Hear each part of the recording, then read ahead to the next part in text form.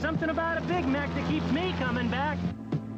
You, you're the one, keep coming back. There's something about a Big Mac that keeps you coming back. Keeps you coming back. Coming back to that Big Mac. Is it the two all beef patty, special sauce, lettuce and cheese?